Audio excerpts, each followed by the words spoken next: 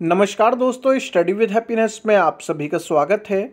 और दोस्तों, आज के वीडियो में हम बात करेंगे उत्तर प्रदेश विधानसभा भर्ती की।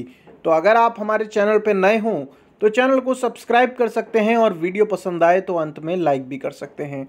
दोस्तों, कल वीडियो बनाकर आप लोगों को बताया था कि उत्तर प्रदेश विधानसभा में भर्ती आ रही है और शॉर्ट विज्ञापन भी दिखाया था। डिटेल विज्ञापन कल जारी होगा और उसी वीडियो में काफ़ी कमेंट आए थे तो उनमें से मैंने कुछ कमेंट लिए हैं। अगर आप भी कुछ जानना चाहते हैं तो इसी वीडियो के डिस्क्रिप्शन में कमेंट कर सकते हैं, या फिर आप चाहें तो सीधे मुझसे फ़ोन पे भी बात कर सकते हैं। वीडियो के डिस्क्रिप्शन में बताया गया है। तो दोस्तों, पहला कमेंट है उत्कृष्ट प्रताप जी का। ये पूछ रहे हैं आर के लिए टाइपिंग टेस्ट होता है क्या? दोस्तों आर के लिए टाइपिंग टेस्ट नहीं होता। आर के लिए सिर्फ़ टाइपिंग टेस्ट होता है इलाहाबाद हाई कोर्ट आर वाले में, ठीक है? चाहे फिर वो उत्तर प्रदेश, आप देखेंगे सचिवालय की भर्ती हो, उसमें भी आर के लिए टेस्ट नहीं है, टाइपिंग और विधान परिषद में भी नहीं है, विधानसभा में भी नहीं है। अगला कमेंट लेते हैं। नवनीत कुमार जी कहते हैं कि high court R O A R O के लिए वीडियो बनाएँ। नवनीत जी, इस पर तो हमने पता नहीं कितने वीडियो बनाए हैं। अभी जल्द ही बना देंगे जैसी कोई सूचना मिलेगी। ठीक है? अगला जो कमेंट है वो है, प्रीति कुमारी जी कह रही हैं कि इसमें तो सीटें फिक्स नहीं है पहले से, बस ये बताइए। देखिए, प्रीति जी, ऐसी कोई जानकारी मेरे पास नहीं है।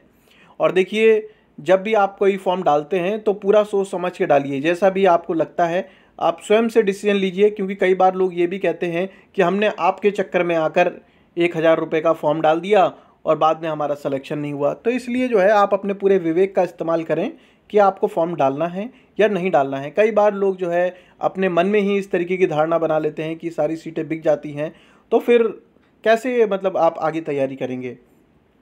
आगे कमेंट देखते हैं कि अनुज भारद्वाज, कितनी तरह के आर हैं? यूपी पीएससी वाला आर होता है या फिर पावर किसमें ज़्यादा है? यूपी पीएससी वाला आर क्या होता है? देखिए आर कितने तरीके के होते हैं। इस पर मैंने एक डिटेल में वीडियो बनाया है। पी का R O R O high court का और विधान परिषद, विधानसभा सचिवालय। तो अगर आपने वो वीडियो ना देखा हो तो देख लीजिए। मगर अगर पावर की बात आप करें तो पावर के हिसाब से जितना मैंने अभी तक अंडरस्टैंड किया है, जितना मैंने समझा है सभी को तो इसमें आपको सचिवालय वाला जो आरओ है, उसकी पावर थोड़ी सी आपको ज़्यादा मिलेगी। इसीलिए आपने देखा होगा कि उस वाले एग्ज़ाम को पास करना भी इतना आसान नहीं होता, क्योंकि उसमें ऑब्जेक्टिव के साथ में डिस्क्रिप्टिव परीक्षा भी होती है। तो अगर आप सभी आर का चयन प्रक्रिया देखेंगे, उसमें उत्तर प्रदेश सचिवालय वाले आर की जो चयन प्रक्रिया है, वो थोड़ी सी टफ है। अब देखते हैं उत्कर्ष प्रताप जी। अच्छा ये वाला मुझे लगता है स्लाइड दोबारा से रिपीट हो गई है। यहाँ पर चांदनी कुमारी जी कहती हैं कि आर की प्रिपरेशन कैसे करें, कुछ बताएँ। देखिए, मैंने आप लोगों को बताया कि जो भी सिलेबस जारी होगा, कल ही आपको सूचना मिल जाएगी, ये कोई छुपी हुई बात नहीं रहेगी और किसी भी एग्ज़ाम का जो सिलेबस होता है, वो उसी की नोटिफिकेशन में होता है। बिल्कुल स्टेप बाय स्टेप उसी के अकॉर्डिंग करना है। सिलेबस में सबसे पहले आपको ये आइडेंटिफाई करना है कि इसमें ऐसे कौन से सब्जेक्ट आ रहे हैं, जो आपके सबसे कमज़ोर हैं। उन पर थोड़ा सा ध्यान दीजिए। मैं ये कह रहा हूँ कि उसमें आप एवरेज तक आ जाइए और जो बाकी आपके स्ट्रांग हैं, उन्हें रिवाइज करके और स्ट्रॉन्ग कर लीजिए। ठीक है? यही तरीका है। बाकी अंकिता कहती हैं कि डिस्कस कीजिए सिलेबस हाँ कल वीडियो कल फुल नोटिफिकेशन आ जाएगा और जहाँ तक है, शाम को मैं आपको एक पूरी रणनीति के साथ एक डिटेल वीडियो लेकर आऊँगा। ठीक है? तो जो अभ्यर्थी नए हों तो सब्सक्राइब कर लेना और बेल आइकॉन भी दबाना, जिससे कि वीडियो की नोटिफिकेशन मिल पाए। अभी पूछते हैं, सीटें कितनी हैं? सीटें, देखिए, कल सारी चीज़ें क्लियर हो जाएँगी, इसलिए अभी अंदाज़ा लगाना सही नहीं है। ये कह रहे हैं कि कहाँ पर है नोटिफिकेशन देखिए नोटिफिकेशन जो है वो कल वेबसाइट पे आएगा। अभी समाचार पत्र के माध्यम से सूचना दी गई थी। आपने देखा होगा एसएससी भी कई बार जो है, समाचार पत्रों में पहले विज्ञापन दे देता है, उसके बाद में डिटेल नोटिफिकेशन जो है वो अपनी वेबसाइट पे जारी करता है। और देखते हैं, यहाँ पर राज उपाध्याय जी कहते हैं कि धन्यवाद जानकारी के लिए। हाँ बिल्कुल। देखिए, जब भी नई भर्ती आती है, एक नया जोश तो आता ही है। और बस ये ध्यान रखना है कि भर्ती आए ना आए, आप लोगों का कर्तव्य है पढ़ाई करना और उसमें लगे रहिए। और ईमानदारी से कीजिए बस।